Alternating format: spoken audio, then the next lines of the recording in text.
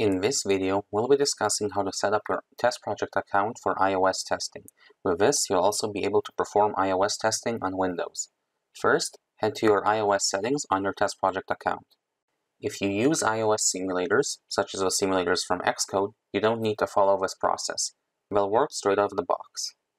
First, you'll need to log into your Apple developer account and get your team ID from the membership section. Copy the ID and paste it back into TestProject before moving to the next step.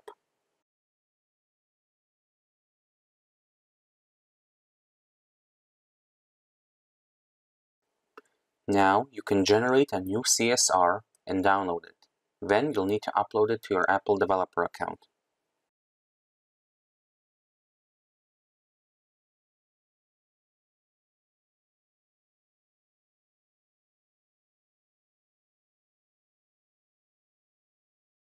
In your Apple account, head to the Certificates, IDs, and Profile section. Then create a new certificate. It's important to choose iOS App Development, as no other type will work. After choosing, press Continue, and then upload the file generated from TestProject.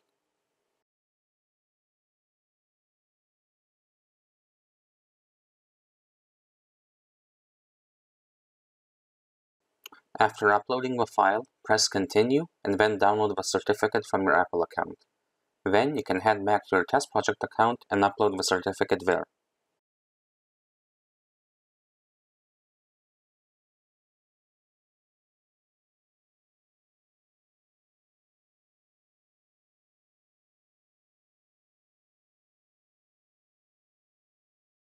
Once you're done uploading the certificate, you can create and upload your mobile provisioning profile.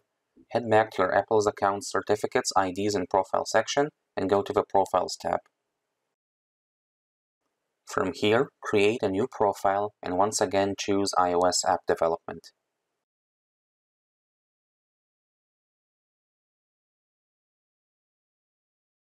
In this section, it's important to choose the wildcard option.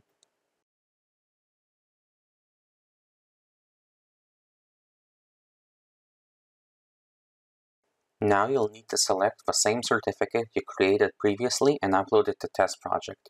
Then you can select all the devices you'd like to provision and use in TestProject.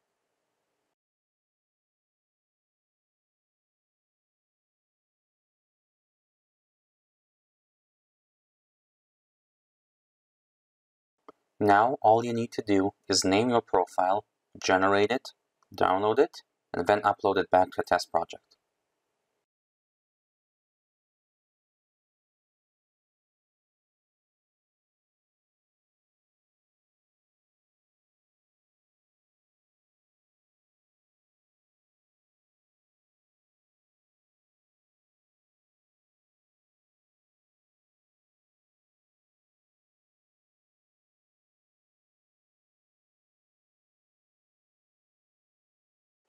Here you'll see all the devices in our profile. Their correct names will appear after you've used them at least once in TestProject.